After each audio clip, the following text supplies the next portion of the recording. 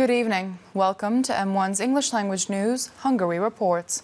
I'm Hajnalka Tóth with today's news from Hungary and the Carpathian Basin. Let's get started.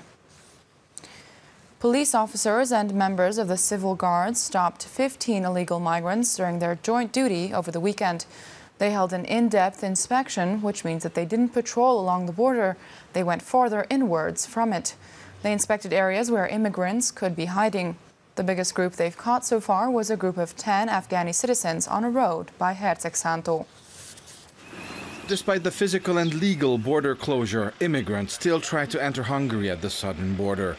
Authorities caught several dozen migrants in May. They stopped 12 immigrants at Hercegszántó on the first day of the month and five illegal border crossers at Kelebia the next day on a train from Serbia.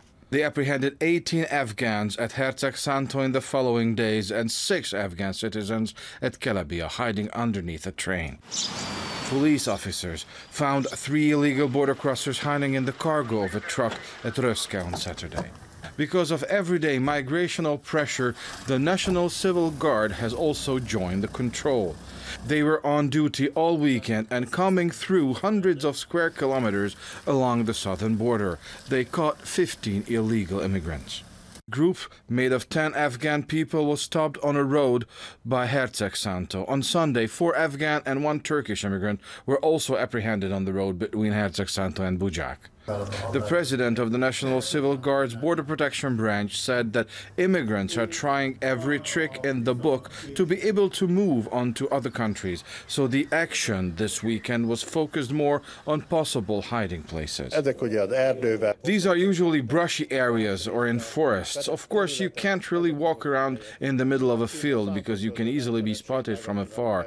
So the Danube's flood area grants great coverage and even tells you which way to go the president of the Border Protection Branch said.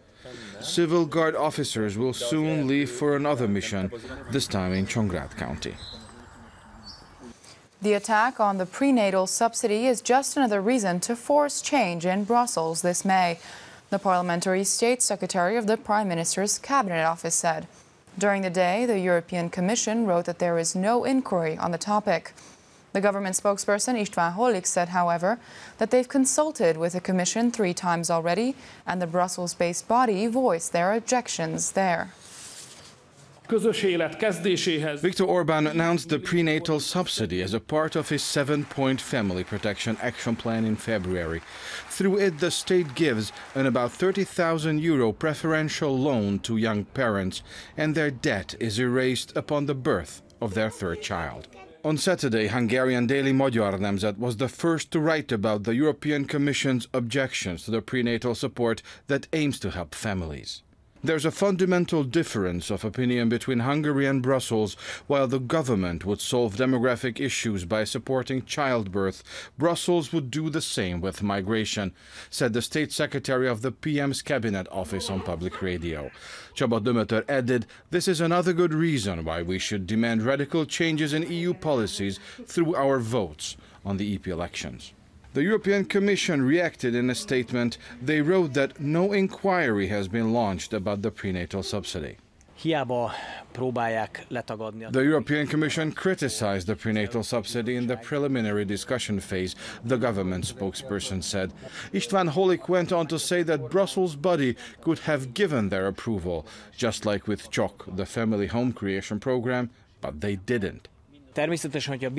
Of course, if the Commission continues to deny that these consultations existed, then the government is ready to bring the exact date of these consultations to light already tomorrow and to publish the records even. Regardless of Brussels' objections, the government insists that the prenatal subsidy be available for every young couple from July 1st, he said. István Hollik added that family and children come first for the Hungarian government. Viktor Orban welcomed the CEO of the Russian Nuclear Energy Corporation, Rosatom, at the Carmelite Monastery. Their talks focused on the progress made on the project so far and its next steps. The Prime Minister said that the construction of the plant's two new blocks will significantly improve Hungary's energy security and contribute to its energy independence and achieving its climate protection goals. He added that the project is fully in line with Hungary's national interests. The Eurovision Song Contest has begun in Tel Aviv. Their opening ceremony ended not long ago. All 41 performers have presented themselves to the audience. Józsi Pápai is representing Hungary this year with his song titled My Father. The Hungarian contestant will be performing on Tuesday at the first semi-final. The final will be on Saturday. Public Media's Duna channel will be broadcasting it live, as always. The song is called Heaven. Performers were welcomed like stars in Tel Aviv at the venue of this year's Eurovision Song Contest. The representatives of each country walked the several hundred meter orange carpet on the square before the local National Theatre, the Habima. Fans could take photos with the contestants and ask for autographs from them. Good evening, Europe!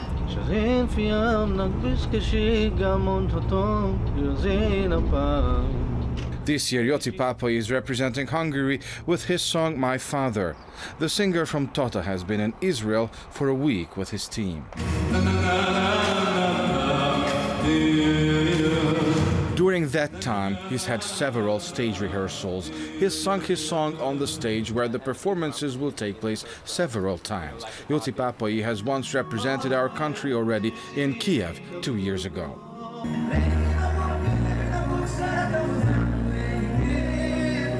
Other than the rehearsals, Józsi also performed at an event hosted by the Hungarian embassy to Israel on Saturday. He sang his song together with the audience. He said that it's a great feeling that people who live there know it and like it. Fantasztikus érzés az, hogy It's a fantastic feeling that they know my song and that they were able to continue singing when I stopped singing the chorus. It's great feedback that I'm on the right path. I'm happy, he said.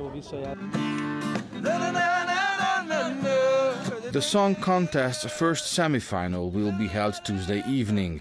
Józsi Pápai will be the seventh to perform his song. If he goes on to the next round, he can also sing at the final on Saturday. The Győr Audi Handball Club triumphed in the Women's Handball Champions League by defeating its Russian opponent in Budapest on Sunday. On the second day of the Final Four, the Hungarian team beat Rostov-Don 25 to 24. With this victory, Győr has won the Champions League five times over the past seven years.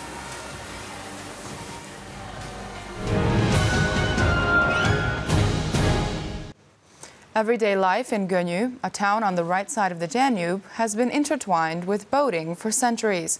A themed exhibit presents local boating dynasty's treasures and fishing artifacts. Visitors can also see rare tools such as water filters made out of limestone that clean the Danube's water and made it potable, or a petroleum stove. A North American porcupine was born at the Miskolc Zoo.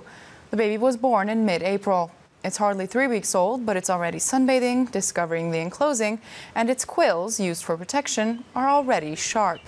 For now, the family of three will stay together, but the baby will later be moved to another European zoo. North American porcupines don't reproduce often. About 10 are born in Europe each year, which is one of the reasons why the Miskolc Zoo is very proud of its newcomer.